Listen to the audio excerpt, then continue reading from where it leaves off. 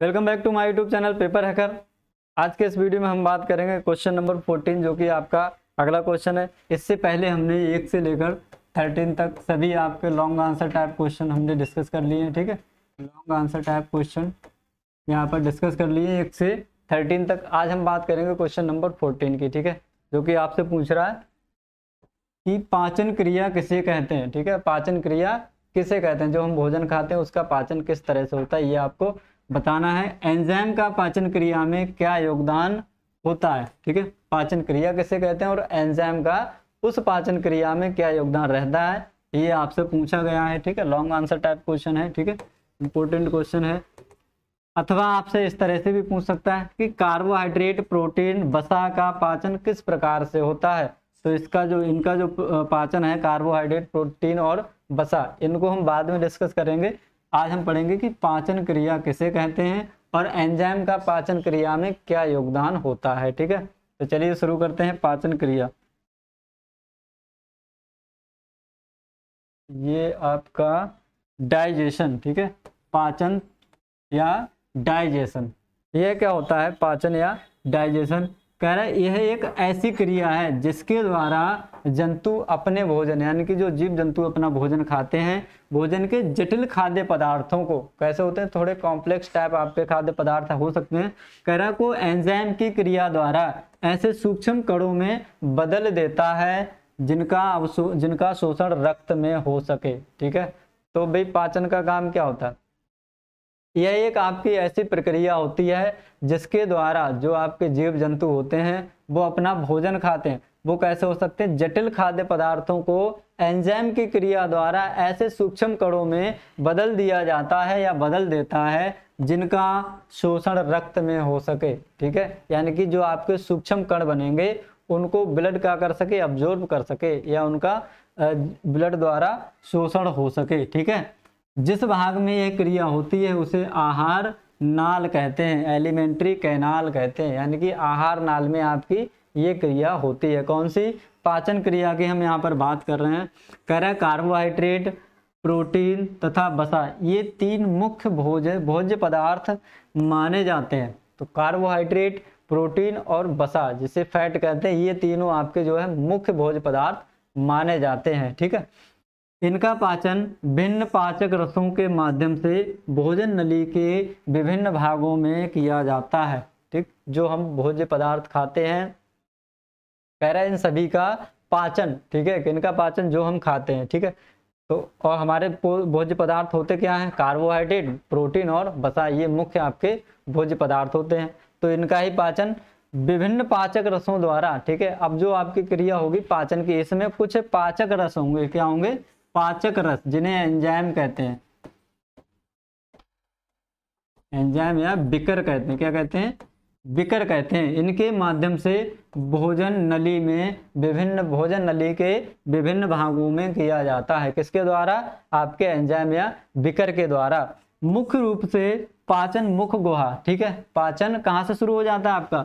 मुख गुहा, यानी कि डाइगे ऑरल डाइजेशन उधर क्या होता है आपका? गैस्ट्रिक डाइजेशन जैसे पेट में होता है तथा आंत, ठीक है? में होता है। तो आपका जो पाचन होता है, मुख्य रूप से आपको कहाँ कहाँ देखने को मिलता है? आपके मुख गुहा में देखने को मिलेगा, यानी कि हमारे मुख गुहा से ही हमारा पाचन जो है शुरू हो जाता है। उसके बाद हमारे उदर में जैसे हम पेट कहते हैं, ठीक है? वहाँ उसके बाद कहा जाता है? फाइनली आपका इंटेस्टाइन यानी कि आंत में पहुँच जाता है, जहाँ पूरी तरह से इसका जो है पाचन हो जाता है। कार्बोहाइड्रेट, ग्लूकोज, जो आपका कार्बोहाइड्रेट होता है वो ग्लूकोज और आपका प्रोटीन प्रोटीन आपके अमाइनो एसिड में, ठीक है? कार्बोहाइड्रेट क्या बनाता है? कार्बोहाइड्रेट, ग्लूकोज, ठीक है? अब protein amino acid, fat, fatty acid और ग्लिसरॉल में ब्रेक कर दिए जाते हैं, ठीक है? तो क्या है? जो आपका कार्बोहाइड्रेट है, वो आपका ग्लूकोज में तोड़ दिया जाता है, ठीक है? यानी कि कहते हैं ज़्यादा कार्बोहाइड्रेट खाने से आपको इंस्टेंट एनर्जी मिलती है। तो वो क्या होता है? कार्बोहाइड्रेट ब्रेक हो जाता है किसमें ग्लूकोज में, जिससे हमें इंस्टेंट एनर्जी मिल जाती है। तो कार्बोहाइड्रेट ग्लूकोज में प्रोटीन आपका अमाइनो एसिड में और जो आपका फैट होता है, बसा, वो किसमें बदल जाता है? फैटी एसिड और ग्लिसरॉल में ब्रेक कर दिए जाते हैं, ठीक है? इन तीनों को इस रूप में ब्रेक कर दिया जाता है। कह रहा है डाइजेशन। डाइजेशन दो प्रकार की क्रियाओं, भौतिक क्रियाओं, जिन्हें मैकेनिकल रिएक्शन कहते हैं, तथा आपका रासायनिक क्रियाओं, जिन्हें केमिकल एंजाइमेटिक रिएक्शन कहते हैं, ठीक है, द्वारा संपन्न किया जाता है। तो आपका जो पाचन है, वो दो क्रियाओं द्वारा संपन्न किया जाता है, भौतिक क्रियाएँ, जिन्हें मैकेनिकल रिएक्शन कहते हैं। दूसरा क्या आपका रासायनिक क्रिया जिन्हें केमिकल केमिकल रिएक्शन या एंजाइमेटिक रिएक्शन, क्योंकि ये जो क्रियाएँ हैं, ये आपकी एंजाइम की उपस्थिति में होती हैं। किसकी उपस्थिति में? बिकर की उपस्थिति में होती हैं, इसलिए इनको एंजाइमेटिक या केमिकल रिएक्शन के नाम से जाना जाता है, ठीक है? तो पहले अगर हम बात करें कह रहा मुख में पाचन किसमें? ऑरल डाइजेशन तो ये मुख में पाचन क्या होता है? कह रहा है यह भोजन नली का प्रथम भाग होता है, ठीक है? जो आपका मुख होता है या माउथ कैविटी होती है, ये क्या होता है आपका?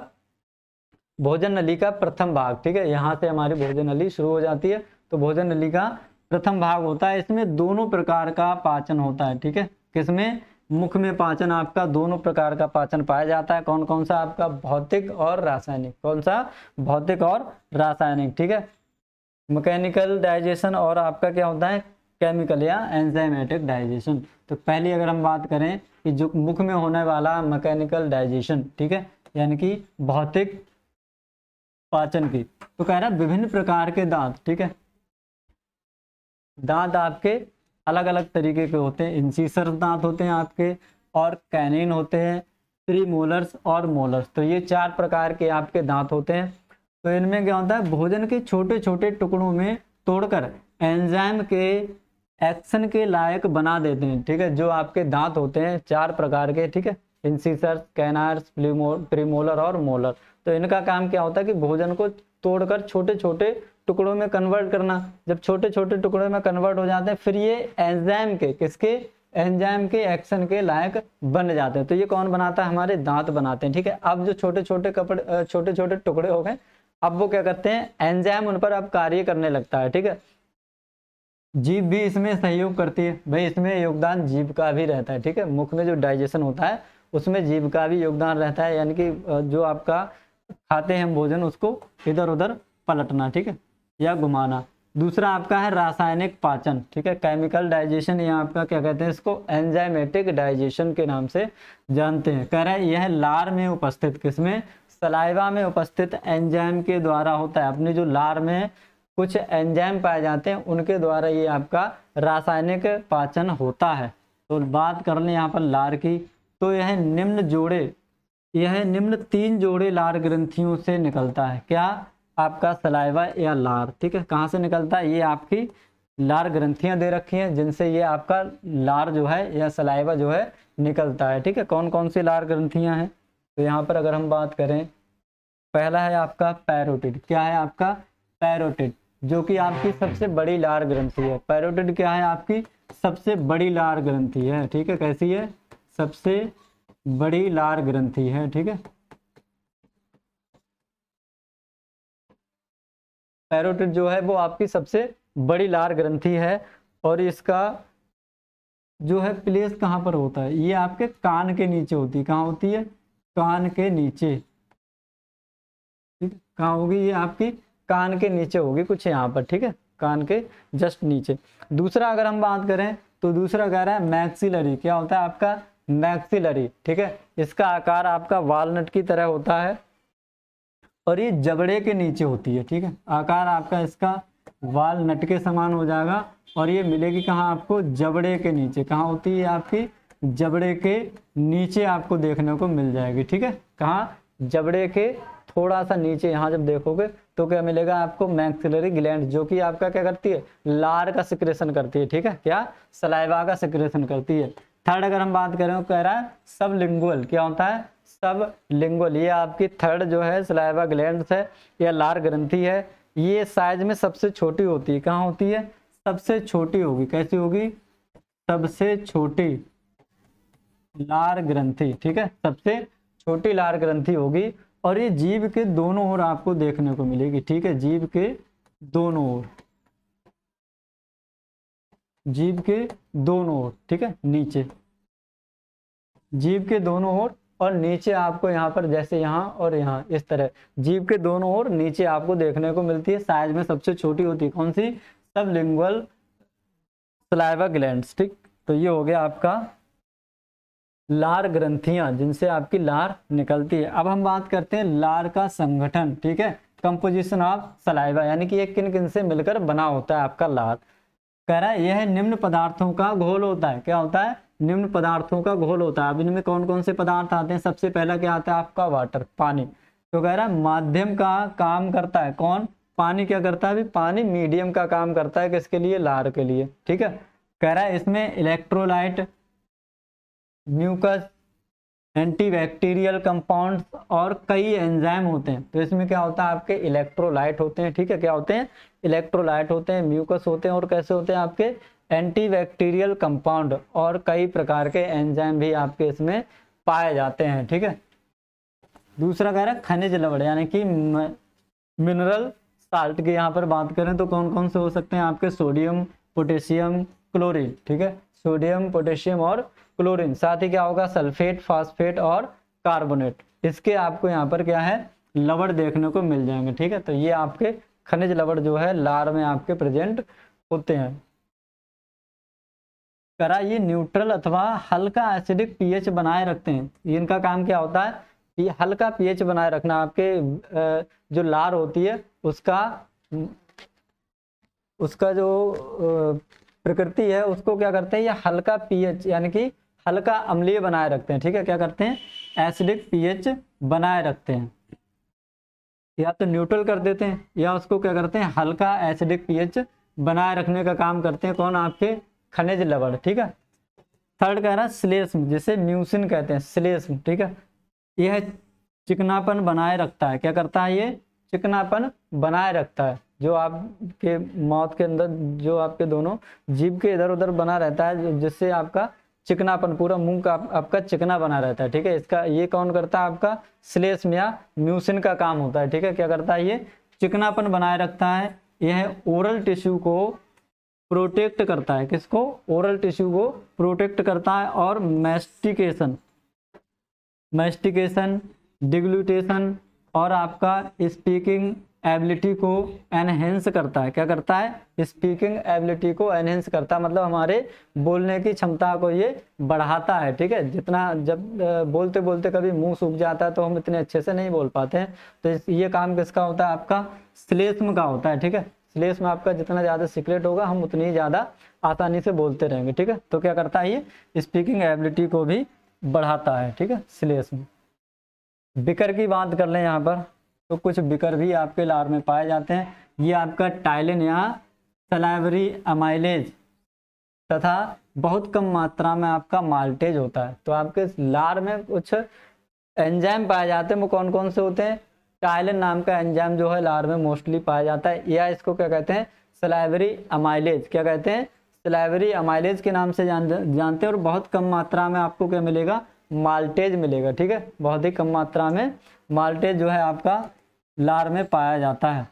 अब हम बात कर लेते कि जो आपका एक्शन ऑफ़ एंजाइम होता है, बिकर के कार्यों की, यहाँ पर अगर हम बात करें तो बिकर किस तरह से कार्य करते हैं या एंजाइम हमारे किस तरह से कार्य करते हैं, एक्शन करते हैं। तो कह रहा है, ये एंजाइम पॉलीसेकेराइड जो आपके पॉलीसेकेराइड होते हैं, यानी कि सेकेराइड मिलकर एक बहुत लंबी श्रृंखला बना लेते हैं, उसे कहते हैं पॉलीसेकेराइड ठीक है? जैसे आपका स्टार्च और ग्लाइकोजन पॉलीसेकेराइड जैसे आपका स्टार्च हो गया और क्या हो गया? आपका ग्लाइकोजन हो गया।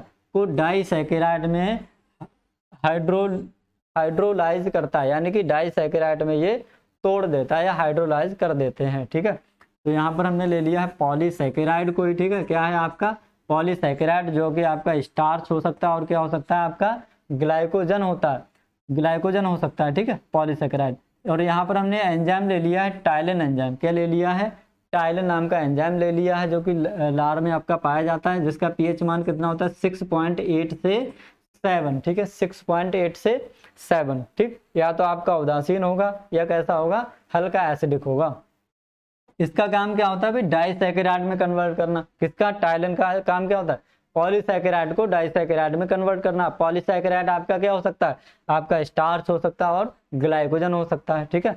और आपका जो डाइसेकेराइड है, वो क्या हो सकता है? आपका माल्टोज हो सकता है और क्या हो सकता है? आपका ग्लूकोज हो सकता है, ठीक है? माल्टोज और ग्लूकोज अब ये जो आपका माल्टोज होता है, ठीक है? क्या होता है?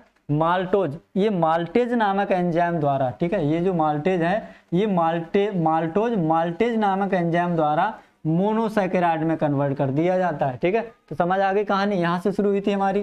पॉलीसैकेराइड पॉलीसैकेराइड को टाइलिन नामक एंजाइम ने क्या करा? भाई, डाइसैकेराइड बना दिया, जो कि आपका क्या हो सकता है? माल्टोज और गैलेक्टोज। अब ये माल्टोज और गैलेक्टोज आपके डाइसैकेराइड है। ये माल्टेज नामक एंजाइम की उपस्थिति में किसकी? ये जो माल्टेज है, ये आपका क्या है? एंजाइम है, ठीक है? क्या है?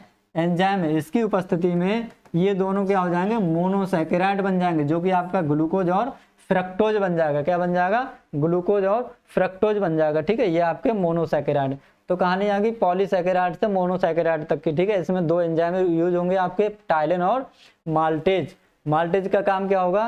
भाई माल्टेज क्या करेगा? जो डाइसैकेराइड आपका माल्टोज और गैलेक्टोज होगा, इनको बदल देगा किसमें? ग्लूकोज और फ्रक्टोज में कन्वर्ट कर देगा, ठीक है? कौन? आपका माल्टेज। कह रहा, और यदि भोजन अधिक देर तक मुँह में रहता है तो माल्टेज की क्रिया द्वारा ग्लूकोज में बदल दिया जाता है। अब देखो यहाँ पर क्या हुआ। अगर ज़्यादा देर तक हमारे मुँह में भोजन रहेगा तो ये प्रक्रिया आपकी यहाँ तक संपन्न हो जाएगी मुँह में ही, ठीक है? ये पूरी प्रक्रिया आपकी यहाँ तक संपन्न हो जाएगी, वरना कहाँ तक? केवल इतना काम होता है मुँह का, ठीक है? अगर हम ज़्यादा देर तक चबाते रहते हैं, ज़्यादा देर तक अपने मुँह में हम भोजन को रखते हैं तो क्या करता है? जो डाइसेकेराइट होता है, उनको भी आपका मोनोसेकेराइड में कन्वर्ट कर दिया जाता है, ठीक है? यही कह रहा है ना माल्टेज की क्रिया द्वारा ग्लूकोज में बदल दिया जाता है, ठीक है? जो कि आपका एक प्रकार का क्या है? मोनोसेकेराइड है, ठीक? मोनोसेकेराइड मिलेंगे डाइसेकेराइड डाइसेकेराइड आपस में मिलेंगे पॉलीसेकेराइड का फॉर्मेशन हो जाएगा। कह रहा है, इसके बाद भोजन लुगदी के रूप में ईसोफेगस द्वारा उधर में पहुँच जाता है। अब यहाँ पर क्या होगा? अब हम जो भोजन खाते हैं, चबाते हैं, वो एक लुगदी फॉर्म बना लेता है। ठीक है, क्या बना लेता है? लुगदी की तरह बना लेता है। एक आपका घोल? अब ये कहा, ऊसोफेगस द्वारा, यानी कि हमारी जो आहार नाल होती है, उसके द्वारा आपका कहाँ पहुँच जाता है? उदर या पेट में पहुँच जाता है। दूसरा है आपका जठरीय पाचन। क्या है आपका? जठरीय पाचन या गैस्ट्रिक डाइजेशन गैस्ट्रिक डाइजेशन की अगर हम बात करें, यानी कि पेट में जो आपका पाचन होगा, वो किस तरह से होगा कौन कौन से एंजाइम इसमें कार्य करेंगे, ठीक है? कह रहा उधर में दोनों ही क्रियाएँ होती हैं, उधर में भी आपकी दोनों क्रियाएँ देखने को मिलती हैं। कह रहा गैस्ट्रिक जूस का निकलना गैस्ट्रिन हार्मोन द्वारा गैस्ट्रिक ग्लैंड को उत्तेजित करने पर शुरू होता है। क्या होता है? भाई, आपका, हम बात करें किसकी? जठर की, ठीक है? इसमें क्या होगा कि उधर में दोनों ही क्रियाएँ होती हैं आपकी, ठीक है? वो अभी हम पढ़ेंगे, ठीक है? भौतिक और रासायनिक, ठीक है? दोनों क्रिया मतलब आपकी भौतिक और रासायनिक हो सकती हैं, होती हैं यहाँ पर। भौतिक और रासायनिक। तो ये दोनों क्रियाएँ भी आपकी उधर में देखने को मिलती हैं। कह रहा है, जो गैस्ट्रिक जूस का निकलना, यानी कि गैस्ट्रिक जूस निकलता है, कब निकलता है? कह रहे हैं, गैस्ट्रिन हार्मोन द्वारा गैस्ट्रिक ग्लैंड को उत्तेजित करने पर। तो आपका जो गैस्ट्रिक जूस निकलता है, वो कहाँ से निकलता है? गैस्ट्रिक ग्लैंड से निकलता है। कब निकलेगा? जब ये गैस्ट्रिन हार्मोन क्या करेगा, इसको एक्टिवेट करेगा, इसको उत्तेजित करेगा, तब जाके आपका गैस्ट्रिक जूस निकलेगा, ठीक है? कब? जब आपका जो गैस्ट्रिन हार्मोन है, वो क्या करेगा? गैस्ट्रिक ग्लैंड को उत्तेजित करेगा, तब जाके आपका गैस्ट्रिक ग्लैंड से क्या निकलेगा? आपका गैस्ट्रिक जूस निकलेगा, ठीक है? समझ आ गया? अब देखो, दोनों तरह का पाचन होता है, भौतिक पाचन और रासायनिक पाचन। तो पहले हम बात करते हैं कि भौतिक पाचन यानी कि मैकेनिकल डाइजेशन क्या होता है। कह रहा उधर में भोजन पहुँचने पर वह फैलने और सिकुड़ने लगता है। जब भोजन हमारे पेट में पहुँच जाता है तो क्या होता है? मतलब वो फैलने और सिकुड़ने लगता है। कुछ इस तरह की उसमें क्रियाएँ जो है होने लगती है, ठीक है? सिकुड़ने लगता है और क्या होता है? वह फैलने लगता है। जिससे भोजन गैस्ट्रिक जूस के साथ अच्छी तरह मिल जाता है। अब जो गैस्ट्रिक गैस्ट्रिक जूस बनाता है आपका, वो क्या करेगा? भोजन के साथ में अच्छी तरह से मिल जाएगा, ठीक है? ये कहानी हो गई आपकी। भौतिक पाचन की, रासायनिक पाचन की अगर हम बात करें या केमिकल डाइजेशन की बात करें तो क्या कह रहा है? कह रहा है, पेट की एपिथेलियम, जो पेट की आपकी एपिथेलियम भित्ति होती है यूनिसेलुलर ग्लैंड पाए जाते हैं। इसमें क्या होता है? एक कोशिकीय जो है, ग्रंथियाँ आपकी पाई जाती है। यूनिसेलुलर मतलब एक कोशिकीय, कैसी होती हैं? एक कोशिकीय ग्रंथियाँ इसमें आपकी पाई जाती हैं। ठीक है? जो गैस्ट्रिक जूस का निर्माण करती हैं। जो क्या करती हैं? गैस्ट्रिक जूस का निर्माण होता है आपका। ठीक है? किसमें? एपिथीलियम में जो आपकी एक कोशिकीय ग्लैंड्स होती हैं, ग्रंथियाँ होती हैं, वो क्या करती हैं गैस्ट्रिक जूस का निर्माण करती हैं, ठीक है? पेट में। नेक्स्ट इनका अगर हम संगठन की बात करें कंपोजिशन की बात करें, जठर रस के कंपोजिशन या संगठन कंपोजिशन ऑफ़ गैस्ट्रिक जूस की अगर हम बात करें तो कह रहा है वाटर इसमें क्या होता है वाटर भी होता है, इसका काम क्या होता है वाटर का काम होता है मीडियम बनाना, यानी कि माध्यम को प्रोवाइड कराना। दूसरा आपका इसमें H प्लस और सी माइनस ये क्या करते हैं? ये पेरिटल सेल द्वारा सिक्रेट होते हैं तथा इनके मुख्य कार्य क्या होते हैं? ये किसके द्वारा निकलते हैं? पैराटल सेल द्वारा आपके सिक्रेट होते हैं। कौन? एच प्लस और सी एल माइनस आयन होते हैं जो पैराटल सेल्स द्वारा निकलते हैं। इनका काम क्या होता है? इनके मुख्य काम होते हैं। नंबर एक क्या होता है? इन्फेक्शन को मारना। किसको? हल्का फल्का इन्फेक्शन ये मार देते हैं आपके आयन ठीक है? एच प्लस आयन और सी एल माइनस आयन दूसरा, भोजन तत्वों को मुलायम करना, ठीक है? क्या करता है? भोजन तत्वों को मुलायम करता है। थर्ड आपका कह रहा है, पीएच को अम्लीय बनाना, दो से दो पॉइंट पाँच। ठीक है, कौन बनाता है? H plus C L minus. इनका काम क्या होता है? पीएच को क्या करना है? अम्लीय बनाना, जो कि आपका कितना हो सकता है? टू से two point five P H हो सकता है। डी कह रहा है, एंजाइम को उत्तेजित करना। अब ये जो आपका क्या है? जल, इसका एच सी एल इनका काम क्या होता है? ये एंजाइम को उत्तेजित करते हैं और एंजाइम क्या करते हैं? अब कार्य करने लगते हैं, ठीक है? अब एंजाइम कैसा हो जाता है आपका? एक्टिव हो जाता है, ठीक है? और कार्य करने लगता है। तीसरा आपका क्या है? म्यूसिन क्या है आपका तीसरा? म्यूसिन ये ये आपके गोबलेट सेल से निकलता है। कहाँ से निकलता है? म्यूसिन आपका गोबलेट सेल से निकलता है। और भोजन तथा उधर की दीवार को चिकना बनाए रखने का कार्य करता है कौन? म्यूसिन ठीक है? कहाँ से निकलता है? आपका गोबलेट सेल से निकलता है। और काम क्या होता है? भोजन तथा उदर की दीवार को चिकना बनाए रखना, ठीक है? चिकना बनाए रखना, जिससे कि आपका भोजन है वो आराम से नीचे जाता रहे। अब हम बात कर लेते हैं यहाँ पर जो आपका चित्र दिखाई दे रहा है। है, gastric gland showing distribution of mucus. ये आपकी गैस्ट्रिक ग्लैंड है, जिसमें ये दिखाया जा रहा है कि म्यूसिन का मतलब डिस्ट्रीब्यूशन किस तरह से होता है? म्यूकस का डिस्ट्रीब्यूशन किस तरह से होता है? Enzyme and acid secreting cells, ठीक है? और इसमें क्या दिखाया गया है? एंजाइम दिखाया गया और आपका एसिड सिक्रेटिंग सेल्स भी दिखाई गई हैं, ठीक है? तो ये क्या है आपका?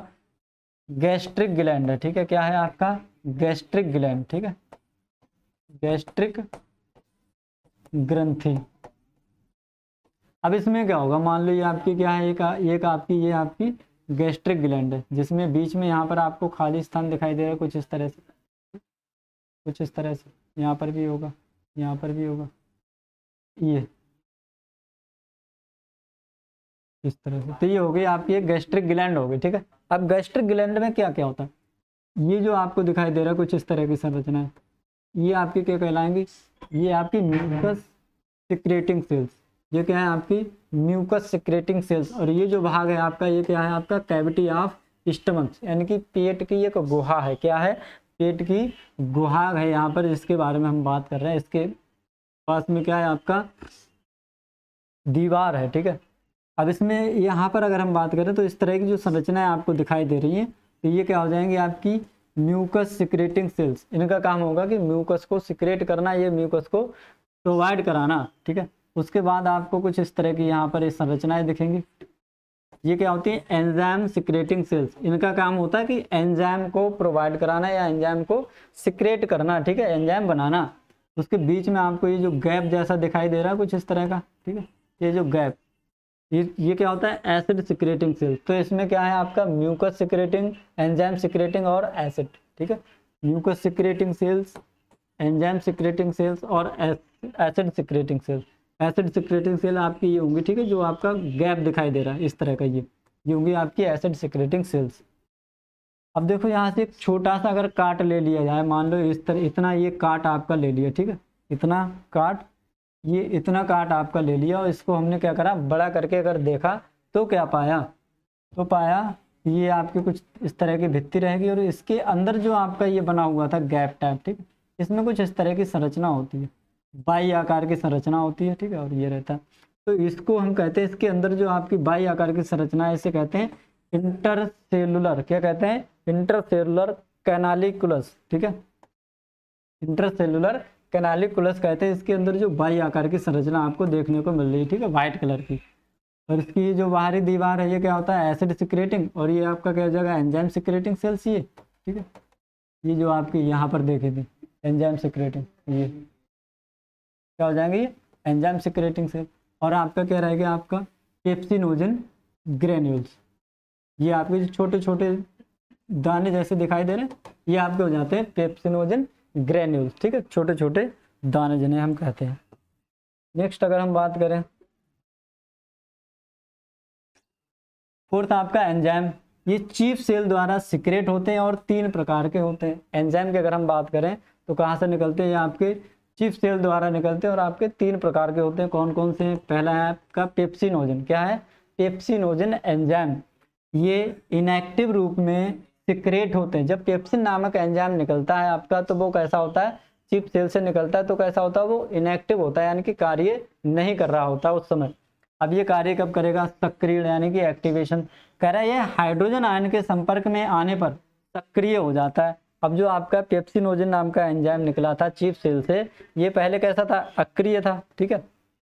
या इनेक्टिव था। जैसे ये हाइड्रोजन आयन के संपर्क में आता है, किसके? एच प्लस आयन के संपर्क में आता है तो ये कार्य करने लगता है, ठीक है? तो ये क्या आ गया आपका पेप्सिनोजन और यहाँ पर क्या आ गया? एच प्लस आयन ठीक है? एच प्लस आयन जब ये इसके संपर्क में आएगा तो क्या कर देगा? पेप्सिनोजन से आपका पेप्सिन नामक एंजाइम बन जाएगा, जो अब आपका क्या हो जाएगा? एक्टिव हो जाएगा, या कार्यशील हो जाएगा। अब ये कार्य कर सकता है, ठीक है? अब ये कार्य करेगा। तो पेप्सिनोजन में क्या मिला दिया हमने? H प्लस आयन ठीक है? क्या बन गया आपका पेप्सिन। दोबारा से इसको ऑटो कैटालिसिस करोगे। दोबारा से इसका ऑटो कैटालाइसिस होगा। तो ये दोबारा से आपका क्या बन जाएगा? दोबारा से आपका ये बन जाएगा पेप्सिनोजन। यानी कि तो ये क्रिया हम कह सकते हैं कि रिवर्सिबल होती है। कैसी होती है आपकी? रिवर्सिबल होती है। पेप्सिनोजन से आपका पेप्सिन बन जाता है और पेप्सिन से आपका दोबारा पेप्सिनोजन बन जाता है, ठीक है? तो ये क्रिया आपकी कैसी होगी? रिवर्सिबल होगी। यहाँ पर हम बात कर लेते हैं पेप्सिन के कार्य, ठीक है? एक्शन ऑफ़ पेप्सिन इसका काम क्या होता है पेप्सिन का? ये भी एक क्या है? एंजाइम है। ये बड़े बड़े प्रोटीन कणों को एनहाइड्रोलाइज ठीक है? एनहाइड्रोलाइज करके पेप्टाइड या पेप्टोन्स में बदल देता है। तो इसका काम क्या होता है? बड़े बड़े प्रोटीन के कणों को एनहाइड्रोलाइज करके क्या करता है? पेप्टाइड या पेप्टोन्स में बदल देता है, यानी कि छोटे कणों में कन्वर्ट कर देता है, ठीक है? कौन आपका? पेप्सिन नामक एंजाइम। देखो, यहाँ पर कुछ इस तरह से कन्वर्ट कर रहा है। बल्क प्रोटीन, यानी कि अधिक प्रोटीन, कैसी है यहाँ पर? बल्क मीन्स कोई चीज़ जहाँ अगर बल्क आ जाए तो समझ लो वहाँ एक झुंड टाइप या अधिक मात्रा में चीज़ है तो प्रोटीन यहाँ पर कैसी है? अधिक। अब इसने क्या करा? पेप्सिन आ गया, ठीक है? पीएच कितना है? दो पॉइंट चार रहा होगा, पीएच मान तो पेप्सिन ने क्या करा? पेप्टाइड या पेप्टोन बना दिया। क्या बना दिया आपका? पेप्टाइड या प्रो पेप्टोन्स बना दिए किसने? पेप्सिन नामक एंजाइम ने, किसके? प्रोटीन के, ठीक है? प्रोटीन को पेप्टाइड और पेप्टोन्स में कन्वर्ट कर दिया किसने? पेप्सिन ने, ठीक है? प्रोरेनिन की अगर हम बात करें तो यह स्तनधारी जंतुओं में ही पाया जाता है, केवल इतना याद रखना, ठीक है? जो आपका प्रोरेनिन होता है, यह केवल स्तनधारी जंतुओं में ही पाया जाता है और निष्क्रिय अवस्था में निकलता है। इसका सिक्रेशन भी इसकी तरह पेप्सिनोजन की तरह निष्क्रिय अवस्था में होता है, यानी कि जब इसका सिक्रेशन होता है, ये इनएक्टिव फॉर्म में होता है, ठीक है? क्रिया नहीं करता है।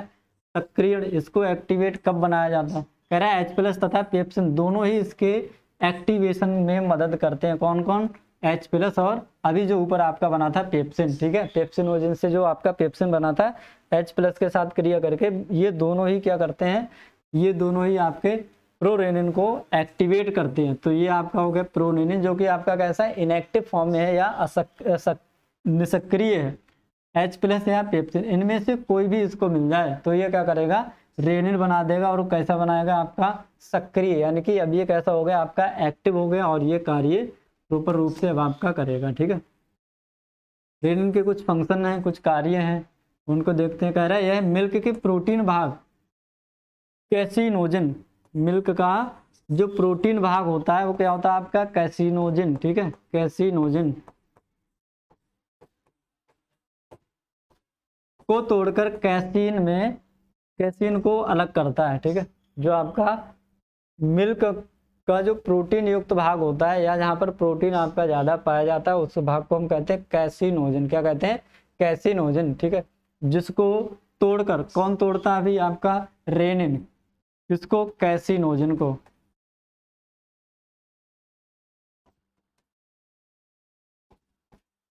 क्या आएगा आपका? रेनिन। अब क्या कर देगा ये? कैसिनोजन को तोड़कर किसमें कन्वर्ट कर देगा आपका? केसिन में, ठीक है? C A S E I N casein नामक प्रोटीन बना देगा। केसिन नामक प्रोटीन बना देगा कौन आपका? रेनिन, ठीक है? रेनिन का काम क्या होता है? कि जो आपका मिल्क का प्रोटीन का भाग होता है, उसको किसमें बदलना? प्रोटीन में बदलना, ठीक है? केसिन नामक प्रोटीन में बदलना। अब देखो कैसिनोजन प्लस रेनिन ठीक है? क्या है आपका कैसिनोजन के साथ में हमने क्या मिला दिया? रेजिन मिला दिया। तो रेजिन क्या कर देगा करेगा कैसिन नामक प्रोटीन में बदल देगा, ये आपका प्रोटीन बन जाएगा। ये आपका वे बन जाएगा क्या होता है? जैसे मतलब जो आपका मिल्क था, उसका प्रोटीन बन गया, बाकी बचा हुआ ये भाग रह गया, ठीक है? पानी से ठीक है? मान लो, छाछ वाछ कह सकते हैं इसको, ठीक है?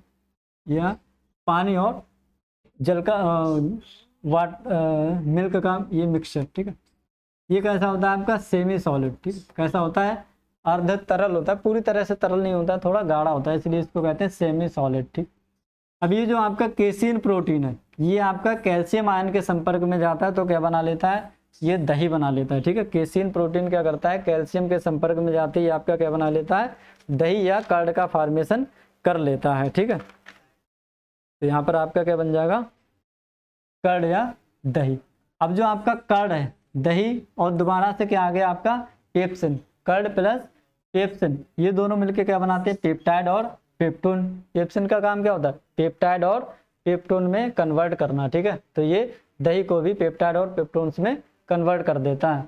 इस प्रकार रेनिन दूध से प्रोटीन भाग को अलग कर, प्रोटीन पाचन के लिए उपलब्ध उपलब्ध कराता है, ठीक है? अब काम क्या हो गया इसका? रेनिन का काम क्या रहेगा कि ये प्रोटीन, दूध से प्रोटीन के भाग को अलग कर देता है और क्या करता है? प्रोटीन पाचन के लिए उपलब्ध कराता है, ठीक है? प्रोटीन का पाचन कैसे होगा, इसके लिए क्या करता है? उपलब्ध कराता है, ठीक है? थर्ड कह रहा है, गैस्ट्रिक लाइपेज। क्या है आपका? अब हम बात करते हैं गैस्ट्रिक लाइपेज की। इसमें कह रहा है, इनका बहुत थोड़ा प्रभाव उधर में हो पाता है। उधर यानी कि पेट में इनका बहुत थोड़ा प्रभाव जो है, हो पाता है। पूरी तरह से ये अपना प्रभाव नहीं छोड़ पाते भोजन पर। कह रहा है, यह भोजन के साथ मिलकर आंतों में पहुँचता है। उधर में तो कम प्रभाव होता है, लेकिन ये क्या करता है भाई भोजन के साथ मिलकर कहाँ पहुँच जाता है? आंत में पहुँच जाता है। कह रहा है, गैस्ट्रिक लाइपेज फंडिक म्यूकोसा के चीफ सेल तक, कहा? फंडिक म्यूकोसा के चीफ सेल तक कन्फाइंड रहता है। क्या रहता है? कन्फाइंड रहता है और पेप्सिन के साथ लोकलाइजेशन रहता है। क्या करता है ये? पेप्सिन के साथ में क्या करता है? लोकलाइजे लोकलाइज्ड रहता है। लोकलाइज्ड मतलब कभी होना, कभी नहीं होना, ठीक है? कभी होना, कभी नहीं होना, ठीक है? तो उसको कहते हैं लोकेलाइज ठीक है? लोकेलाइज ठीक? कभी आपको दिखेगा और कभी आपको नहीं दिखेगा, चलता रहता है अल्टरनेट क्रम में। थर्ड अगर हम बात करें तो आंत्र पाचन की, क्या आपका इंटेस्टाइनल इंटेस्टाइनल डाइजेशन ये आपका थर्ड है, ठीक है? सबसे पहले हमने क्या पढ़ा था? मुख में पाचन, ठीक है? उसके बाद हमने क्या पढ़ा था? उदर में पाचन। अब हम बात करेंगे इंटेस्टाइनल यानी कि आंत्र पाचन की, ठीक है? उधर में भोजन ड्यूडिनल, उधर में भोजन ड्यूडिनल में प्रवेश करता है। यहाँ पर लीवर तथा पेनक्रिया से उनके रस आकार भोजन में मिलते हैं। क्या होता है? उनके रस आकर भोजन में मिलते हैं। कहा? भोजन में, उधर में भोजन ड्यूडिनल में प्रवेश करता है। उधर से होगा, यहाँ पर मैं नहीं होगा। उधर से जब भोजन आपका ड्यूडिनल मतलब आपके छोटी आंत का पहला सिरा उसमें जब ये प्रवेश करता है, आपका भोजन तो क्या होता है? तो यहाँ पर क्या होता है? लीवर और पेनक्रियाज से उनके रस आकर भोजन में मिलते हैं कहाँ? ड्यूडिनल में, ठीक है? छोटी आंत का जो अग्रसरा होता है, जब उसमें भोजन प्रवेश करता है तो लीवर और पेनक्रियाज के जो रस होते हैं, वो आकर भोजन में आपके मिल जाते हैं। तो बात कर लेते हैं भाई यहाँ पर लीवर की। यह बायल जूस बनाता है, जो दो पदार्थों का बना होता है। लीवर का काम क्या होता है? बायल जूस का सिक्रेशन करना और ये आपका दो पदार्थों का बना होता है। पित्त लवण, ठीक है? वायल साल्ट की अगर हम बात करें तो ये माध्यम का पीएच बढ़ाकर सात या आठ कर देता है। क्या कर देता है? आपका जो बायल साल्ट होता है, इसका काम क्या होता है? कि जो माध्यम है, आपका मीडियम है, उसका पीएच मान सात से कितना कर देता है? आठ यानी कि बेसिक कर देता है। ठीक है न्यूट्रल टू बेसिक कर देता है। यह पीएच इंटेस्टाइनल एंजाइम के लिए उपयुक्त होता है। किसके लिए उपयुक्त होता है भाई? इंटेस्टाइनल एंजाइम यानी कि हमारे की आंत में जो आपके बिकर पाए जाते हैं, आंत में जो आपके बिकर पाए जाते हैं या एंजाइम पाए जाते हैं, उनके लिए कैसा होता है? उपयुक्त होता है। इनका दूसरा कार्य लिपिड से मिलकर उसे कोलाइडल रूप प्रदान करना होता है। और क्या कार्य होता है इनका? लिपिड से मिलकर क्या करते हैं ये? उसको कोलाइडल फॉर्म देते हैं। कैसी फॉर्म देते हैं? कोलाइडल रूप उसको प्रदान करते हैं, ठीक है? बी क्या है आपका? पित्तरंगा। पित्तरंगा, जैसे पिगमेंट कहते हैं, ठीक है? वायल पिगमेंट या पित्तरंगा। ये बिलिवरन, बिलू, रुबिन। लिख लो भाई, बिलू रुबिन। तथा बिली वेर्डिन। बिलू रुबिन तथा बिली वर्डिन होते हैं। कैसे होते हैं? बिलू रुबिन और बिली वर्डिन होते हैं। कह रहा है, इसका डाइजेशन की प्रक्रिया में कोई योगदान नहीं होता। वे जो आपके पित्तरंगा होते हैं, इनका पाचन क्रिया में कोई काम नहीं होता है ठीक है? बिलुरुबिन और आपका बिली बिलीवर्डिन ये दो आपके क्या होते हैं? पित्तरंगा होते हैं, इनका डाइजेशन की क्रिया में कोई भाग नहीं होता है या इनका कोई योगदान नहीं होता है। दूसरा आपका, दूसरा है आपका अग्नाशय या पेनक्रियाज। यह पेनक्रियाटिक जूस निकालता है। पेनक्रियाज क्या करता है? पेनक्रियाटिक नाम का एक जूस निकालता है या उसका सिक्रेशन करता है, ठीक है? किसका? Pancreatic juice. कहाँ से निकलता है? पेनक्रिया से निकलता है।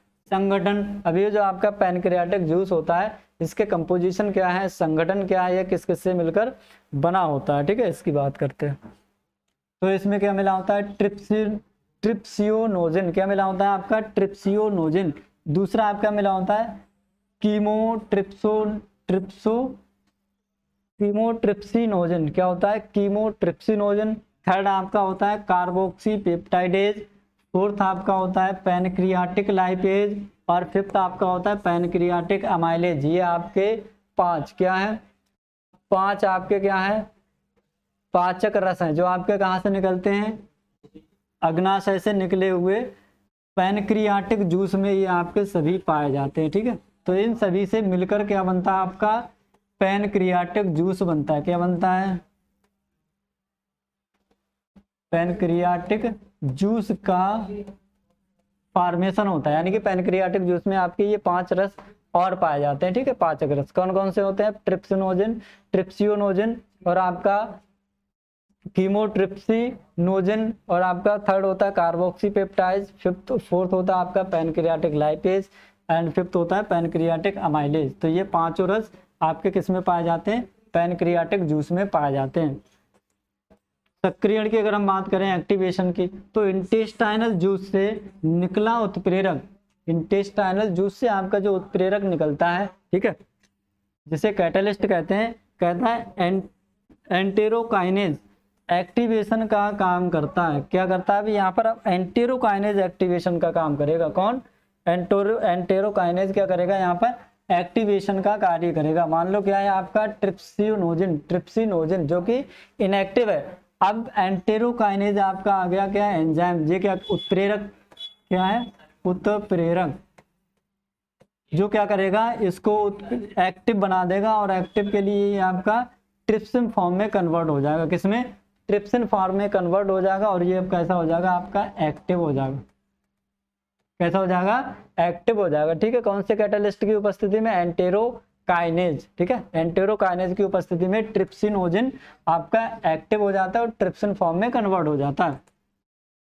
कीमोट्रिप्सिनोजिन की अगर हम बात करें तो इसमें क्या होता है? जो आपका ट्रिप्सिन बना है, ये आएगा अब ये इसके लिए कीमोट्रिप्सिनोजिन के लिए एक्टिव कैटलिस्ट का काम करेगा तो ये क्या कर देगा? कीमोट्रिप्सिन बना देगा। कीमोट्रिप्सिनोजिन को कीमोट्रिप्सिन में कन्वर्ट कर देगा और ये भी अब आपका कैसा हो जाएगा?